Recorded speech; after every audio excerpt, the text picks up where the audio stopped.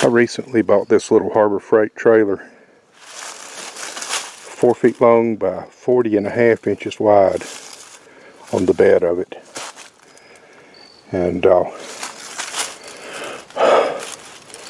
I thought about getting the folding eight foot trailer, but the thing is I've got some other trailers.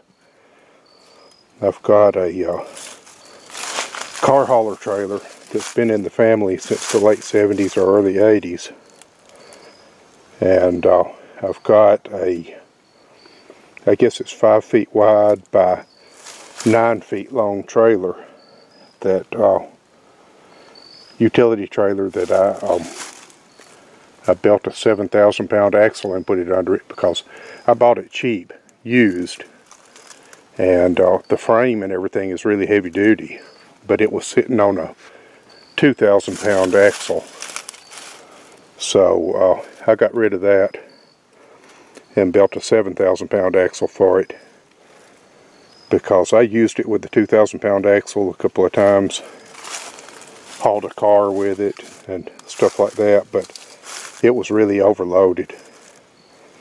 So I wanted to uh, since the frame was so heavy duty I wanted to make it um, to where it would haul anything you could phys physically fit on it but lately, I've been thinking I'd like to have a little trailer for stuff like this and also for uh, hauling a motorcycle.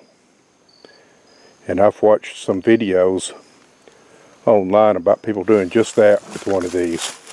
And uh, that's why I opted to get this one instead of the 8 foot folder because I already had something that was close to that but better, like I said and so I didn't want to duplicate what I already had.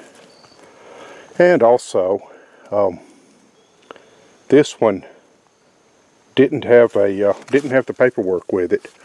So they gave me a pretty good discount on it. So I got it uh, got it for a really good price.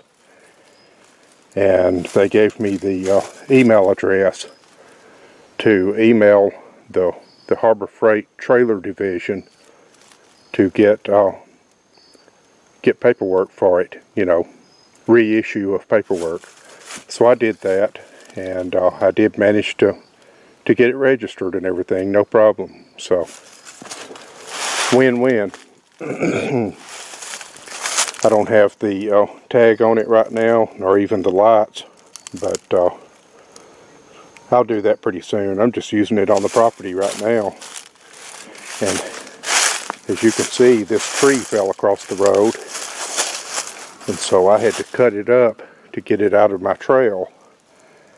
And uh, I cut it into nice stove wood lengths.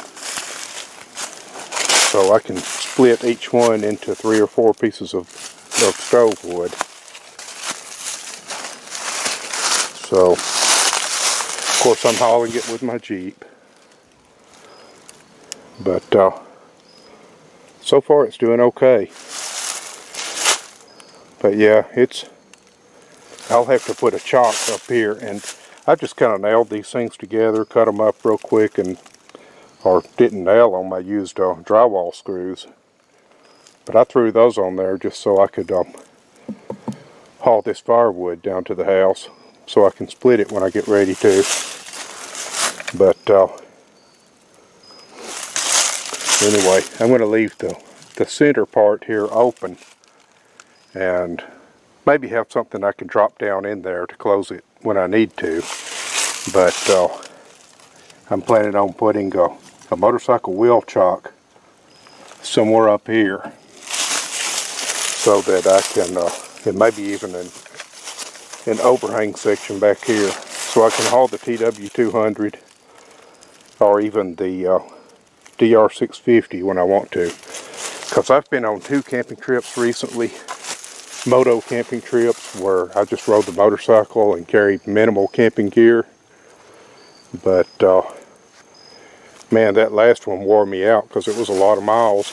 And I rode a lot of miles of trails and stuff. And uh, then when I got came off of the trail, I still still had about 100 miles back home, or 100 and actually I guess it's closer to 150. So that was rough riding back home after riding the, the trails a big part of the day. So I started thinking, and you know, I've got my, I camped in the little uh, French troop tent, pup tent, and that worked great, perfectly. But, uh, you know, I've got my uh, big canvas tent, 10 by 10 I think it is, and uh, I would like to be able to take it along, maybe even take a generator if I need it for anything, and take other camping gear, haul the motorcycle, and extra gas, and all that, and set up a good camp for uh, two or three days or more, and uh, just ride during the day and camp at night. And whenever I get ready to to come back home and I'm all tired and everything I can just drive instead of having to pack everything back on the motorcycle which like I said it's pretty minimal what I can even carry and uh, and then ride the motorcycle home which I love riding but it's a lot more tiresome than, uh, especially since I ride dual sport bikes. It's a lot more tiresome to ride two or three hundred miles than it is to drive the same distance. So anyway, that's, there it is.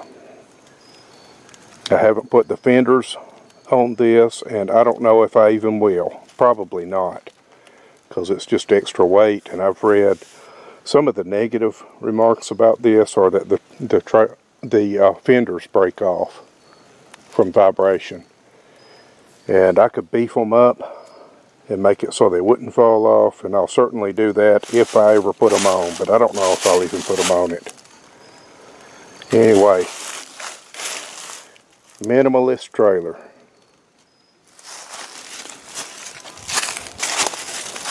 It's rated at 1,050 pounds or something like that. It's got 12 inch wheels on it.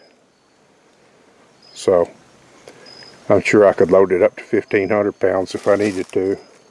Probably even a ton. But uh, I really won't need to, most likely.